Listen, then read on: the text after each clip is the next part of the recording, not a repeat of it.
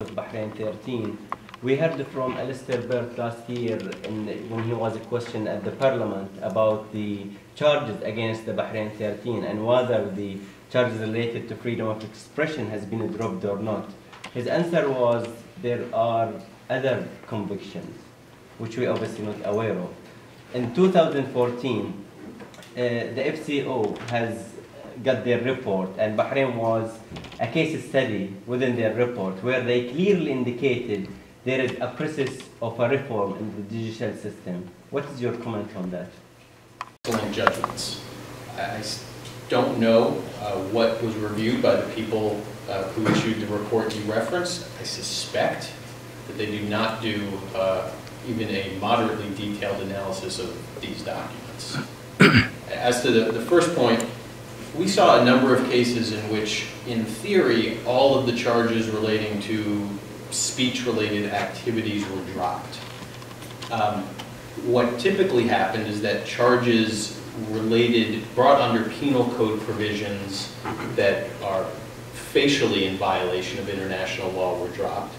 But a charge like terrorism, which doesn't necessarily implicate freedom of speech, would be pursued on the basis of activities that were nothing more than the exercise of free speech or the right to peaceful assembly.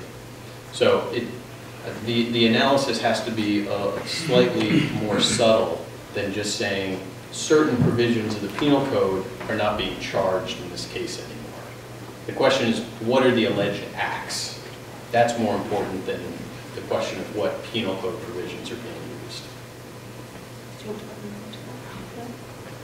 Or you mentioned something, the, uh, you know, the FCO report, Human Rights Report this year had kind of a special framing of the Bahrain issue, but not as a country of concern, quote unquote, but as a, just a case study.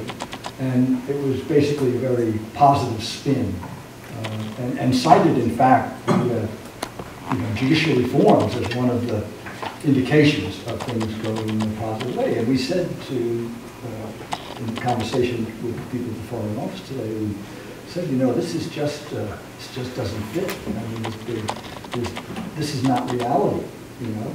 And one the things they kept coming back to, well, do you see any improvement at all? You know, kind of anything?